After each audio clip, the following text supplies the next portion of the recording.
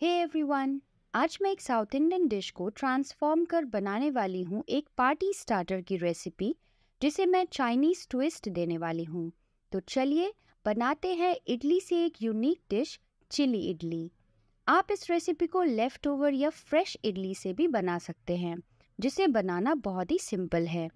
तो देखते हैं चिली इडली बनाने के लिए हमें कौन कौन से इंग्रेडिएंट्स चाहिए।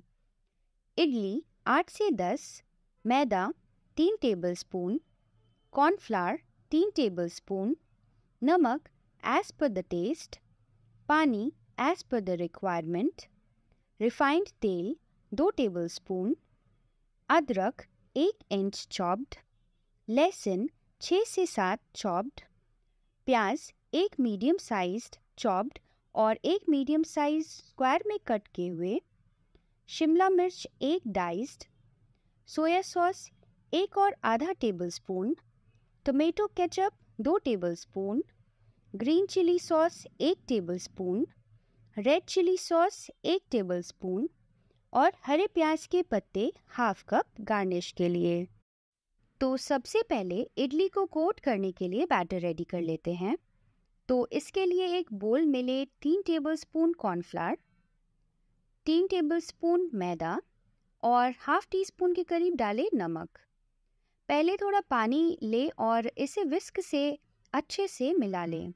ऐसा करने से बैटर में कोई भी लम्ब्स या गाठें नहीं पड़ेंगी। फिर थोड़ा और पानी डालकर इसका घोल सा रेडी कर लें। बैटर की कंसिस्टेंसी को ना तो गाढ़ी रखें और ना बहुत पतली। ठीक इस तरह की कंसिस्टेंसी होनी चाहिए बैटर की, ताकि इडली अच्छे से कोट हो जाए। अब इडली के पीसेस को बैटर में डालें और अच्छे से कोट कर लें। सभी साइड्स अच्छे से बैटर में कोट हो जानी चाहिए। एक इडली को मैंने चार पार्ट्स में पहले से ही कट कर रेडी कर लिया था। आप देख सकते हैं, इडली सभी साइड से अच्छे से कोट हो गई है। अब ये तलने के लिए रेडी है। अब एक कढ़ाई में इडली फ्राई करने के लिए ज़्यादा क्वांटिटी में रिफाइंड ऑयल गर्म कर ले। तेल गर्म हो चुका है। अब हाई फ्लेम पर बैटर से कोट किए हुए इडली के पीसेस को एक एक कर तेल में डालें। तेल में इडली के पीसेस को डालने के थोड़ी देर के बाद ही इसे चलाते हुए पलटना है। तेल में इडली छोड़ने पर अगर तुरंत इसे चलाएँगे तो ये एक दूसरे से चिपक जाएगी। तो इस बात का ध्यान ज़रूर रखें।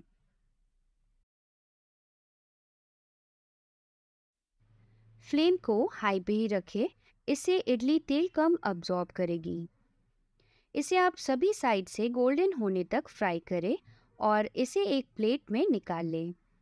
इसी तरह मैंने तीन बैचेस में इडली को फ्राई कर लिया है। इडली को कम क्वांटिटी में ही फ्राई करें। एक साथ बहुत सारी इडली डाल देंगे तो फ्राई करने में आपको दिक्कत हो सकती है।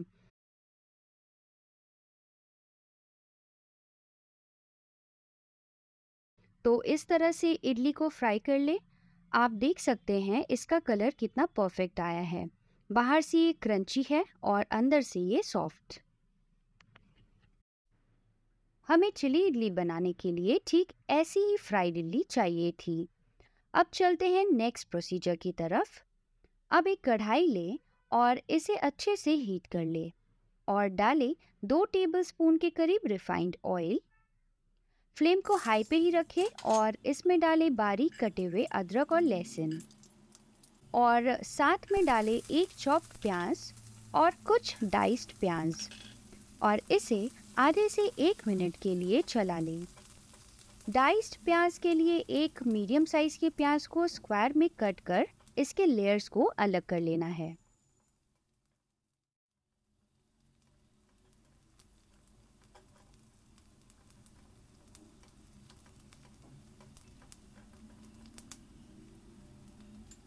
आधे से एक मिनट के बाद डालें एक और आधा टेबल स्पून सोया सॉस और इसे कुछ सेकेंड्स के लिए चलाते हुए थोड़ा बर्न कर लें। फ्लेम को हाई पे ही रखें और फिर डालें दो टेबलस्पून टमेटो केचप एक टेबलस्पून ग्रीन चिली सॉस और एक टेबलस्पून रेड चिली सॉस मैंने यहाँ पे विनेगर स्किप किया है। आप चाहो तो वन टीस्पून के करीब विनेगर इसमें ऐड कर सकते हो। और इन्हें अच्छे से कुछ सेकेंड्स के लिए चला ले, फिर डालें कैप्सिकम कैप्सिकम ज़्यादा ग्रीन और क्रंची रहे, इसलिए मैंने कैप्सिकम को सॉस को पकाने के बाद डाला है। आप चाहो तो अनियन के साथ भी इसे सॉटे कर सकते हैं। फिर डालें दो से तीन टेबलस्पून के करीब पानी और कुछ सेकंड्स के लिए इसे चला लें। और फिर डालें कॉर्नफ्लावर की स्लरी स्लरी के लिए मैंने हाफ़ टेबल स्पून कॉर्नफ्लावर और हाफ़ टेबल स्पून पानी दोनों को एक साथ मिक्स कर लिया है और फिर इसमें ऐड किया है। कॉर्नफ्लावर की स्लरी डालते ही ये थोड़ी थिक होने लगेगी। तो थोड़ा पानी ऐड कर ग्रेवी को पतला कर ले, फिर ऐड करें स्वाद के अनुसार नमक। याद रखें, नमक इडली फ्राई करने के लिए जो बैटर बनाया था उसमें हमने डाला था और सॉस में भी नमक थोड़ा रहता है। तो नमक ध्यान से कम ही डालें और फिर टेस्ट कर नमक बाद में एडजस्ट कर लें। अब जो इडली फ्राई कर रेडी किया था, वो डालेंगे और इडली को सॉस के साथ अच्छे से मिलाकर कोट कर लेंगे। फ्लेम को मीडियम हाई पे रख कर इसे मिला ले और लास्ट में चॉप्ड हरे प्याज के पत्ते डालकर इसे गार्निश कर ले।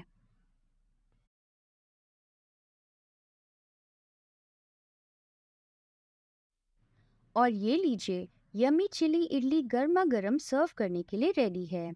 अगर आपको मेरी ये चिली इडली की रेसिपी अच्छी लगी तो मेरे चैनल फ़ूड अपडेट्स को लाइक, शेयर और सब्सक्राइब करना ना भूलें।